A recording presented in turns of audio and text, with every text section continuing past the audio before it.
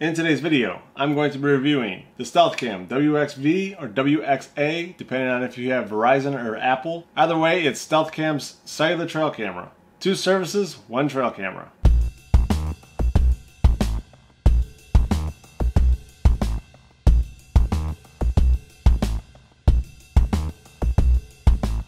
I was planning on doing this review around two weeks. But we ended up getting 80 plus degree temperatures. It was a full moon. The activity in the field just wasn't as active as you'd hope. I didn't feel like I should put out a review on a camera where I haven't got a ton of images, there hasn't been a ton of battery use and so on. Therefore I waited an extra week and it actually kind of paid off because we did get quite a few images in this last week. The weather's starting to cool off. The moon obviously wasn't full. So we've been getting a lot more activity. So far I like the camera. To me it's one of the most reliable cameras that I own. I'm also going to be doing a comparison video. So for anybody that didn't see the other videos, I, I own a Spy Point, I own a Cuddeback, and then I have the Stealth Cam. I basically did an overview of the Stealth Cam and the Cuddeback. I've, I've owned the Spy Point for over a year now and I did a review on that. There's a couple things I'm going to go over in this review and let you guys know about. There's going to be more things I touch on when I compare the Cuddeback to the Stealth Cam and the Spy Point. I'm not trying to leave it so you have questions or whatnot, but if you do have questions, feel free to ask, but also, you know, check out that comparison video because in the comparison video, I plan on giving a little bit more information. I have this camera hooked up to the HME solar battery pack, so I, I can't give you an honest answer about how long the batteries last. I'm gonna tell you this, no matter what, if it's a cellular trail camera, they're not gonna last. I had a stealth cam in the UP, I left it there for five months. I got to the UP at our deer camp and the camera was still working and it had over like 3,000 pictures on it. It's not necessarily the camera that is doing all the... It's not, that. darn it.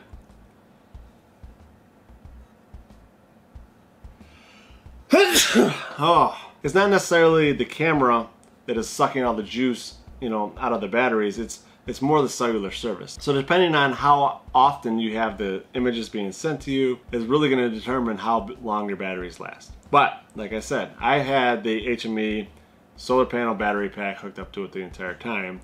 I have had this camera set to instant. So it's taking three photos and then sending me every three photos. If you have your camera in photo mode, it's going to send a smaller resolution photo to your phone, to the app. Then it's going to save the larger picture to the SD card. Now, if you have it set up for video and you have the cellular service on, it's going to send you a very low resolution. I think it's like 240 or 160. It's a very, very low resolution video.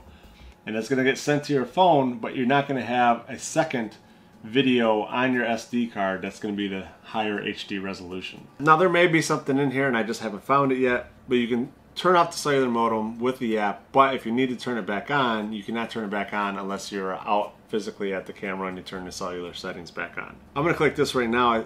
It has a thing called transmit files and I'm wondering if I turn it off, if I will be able to turn it back on later today where it'll transmit all the images to me at the end of the day. So it doesn't give me any warning saying that the camera needs to be, this needs to be reset with the camera. So I'm gonna try that and then I can get back to you probably by the time that this video is up. So you do have upload resolutions. You got 1280 by 720p, 640 by 360, and 480 by 270. Upload frequency to instantly, hourly, twice per day, once per day. And then you can turn this daily test photo on or off. Just I keep it on just to make sure that the camera's working. So if I don't get an image for a day or so, I still don't get a test image, then I know my camera's not working. Now I don't use the Google Drive, so I don't really know anything about that. I'm sure StealthCam has some information about that. I just like using the app. I don't really feel like getting on my computer and doing anything on my computer. The one thing I notice is I'll get notifications that says you have images. But if I'm at this upload page and where you can see the deer here, it won't load those images. I have to go back to this front page here, this front page of the remote, and then it will load the images from there. The feature I like the most on this app is actually shows what times most of the pictures are being taken. Basically from 3 a.m. to almost looks like 10 o'clock a.m. Most of the pictures are being taken. So I need to make sure I'm out there in the stand, you know, 5.30, 6 o'clock, whatever. I, I really need to be out there as early as possible. And it changes every day. As you see, I'm going through the days here. From when I set it up, I ended up moving it. I wanted to view more of where deer were coming by my stand. Now I can create galleries, I can do, I can delete existing galleries. I don't get into all that. If you know somebody else wants to do that, that's fine. I'm not even gonna talk about that right now because it's just not something that I worry about. As far as the camera setup, you know, you have the 12 hour, 24, you can do it 24 hours a day. My photo resolution set to 22 megapixels. So a 20 megapixel picture would be 5,000 by 4,000. Things I don't like. I don't like that we can't check it on our computer. I You can't see the images on the computer. You can only see them in the app. If I wanted to show them to somebody else or I had a grandparent that doesn't really use smartphones or whatever, you know, you have that uncle that doesn't use smartphones whatever, they like to get on a computer still and check the images. You don't have a way of doing that. So basically I would have to save the images, email them to my uncle or whatever. As far as the camera goes, and the picture resolution that are sent to your phone, the picture resolution is, is really good. So I'm gonna go onto my computer real quick and I'm gonna show you guys some of these images. You can't see me because I'm around the corner, but I was actually out in the field. I was sitting in my truck and I was about to get out and I seen this buck walk out of the fence row and I just sat in my truck and waited for him to leave. So this deer is about 50 yards away, I'd say. And at 50 yards away, you can still see the detail of the antlers. And then if you look there, there's like a little stick. I'll put an arrow here on the screen. There's a little stick right there. That is actually where the Cuddeback is, and that is 200 yards away. So you can see enough detail there two see a 4x4 post in the ground holding my Cuddeback camera.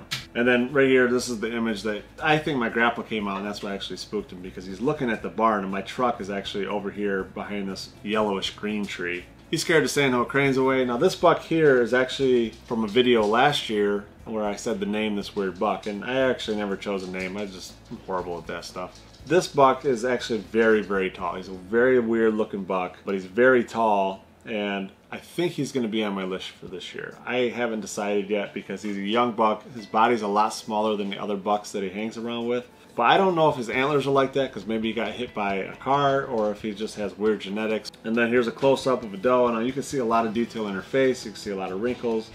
I mean, you can see a lot of detail in the soybeans, and then here's another picture of a buck. As you look, those other bucks are pretty far away. They're probably a good 50 yards away, and you can still see the detail in their antlers. As you see there, those two bucks in the background, they picked up their head. You can see the image pretty well. You know, I mean, you can see the detail in their antlers. You can tell that they're bigger bucks, especially that one there in the front. And then even the second one, he's got his head down. I believe that's that same buck that I was just talking about that has that awkward rack shape. Yeah, that's him right there. He just picked his head up. So uh, basically answered my own little question. Just more pictures, and then you can see it all the way across the field. On that deer right there, you can see his rack, and he's probably 150 yards away. The detail in this camera is, is really good. And then just more pictures of the deer coming in. There's that tall buck right there that I was talking about. It's just a weird looking buck.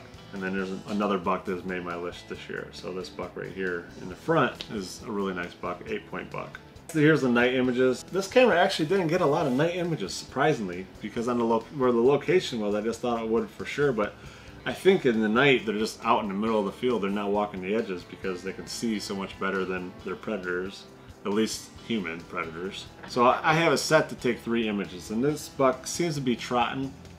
And then you see him there, slows down, and he's still in the image right there, and the other buck's right behind him. And then there's those two bucks again.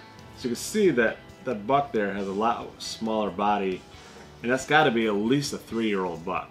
So I think he got hit by a car, and he just his body stopped growing, and his antlers started growing weird. So I'm in the camera settings right now, and I'm trying to see if I can change how fast that burst is taken, but it doesn't look like I have an option there. Now it does have reduced blur, so I got an advanced mode. Right here they run through. I don't know what they're running from. When those deer are running, they're not too blurry, but you get some pretty decent detail. But I mean, you look at that fawn in the back. It's not only is it running, it's jumping. So there's a lot of movement going on, but it's still pretty good. I mean, it's still pretty decent considering those deer are probably really moving. So just the deer picking up its head, it's not gonna have very much blur at all in the images. When you have the DVR mode turned on, your card fills up when you take a new picture, it's going to write that file over the oldest file on your card. If you don't want that to happen, you just rather just go out and change your card, you can just turn that DVR mode off. And then the other option too is you can always format your card. The other thing I want to point out too is this takes a 64 gigabyte card. I don't know if it'll take bigger than that, but it takes at least a 64 gigabyte card. So right now I have a 64 gigabyte card in it. It has, man, it's got to have at least 500 images in it right now and it's only like 3 or 4%. I really like the camera. I think it's very reliable. I've had it sitting out there for the three weeks now and I haven't had to go out and touch it one time. The pictures that are sent to your phone are really good. If I have it set to video mode, it's only gonna do a very, very small video. So it's like literally like 240p video and it's so it's, it's not very good quality.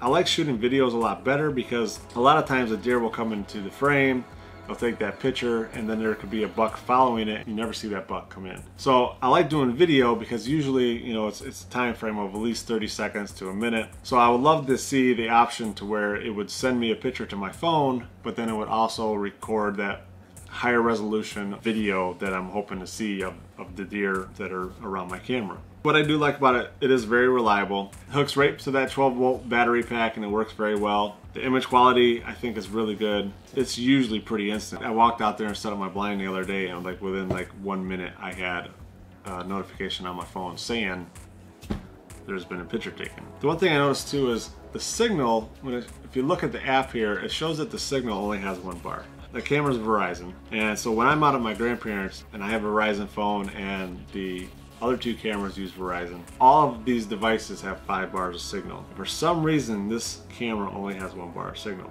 which is kind of disappointing because with it being so reliable, I was kind of hoping to take this to our deer camp and then leave it at deer camp. But if it's not going to have the signal, I don't think I'm going to do that. If there's any more questions, you know, try to ask me you know, before I put the comparison video up. I'm actually going to put the comparison up in two days, so you don't have much time.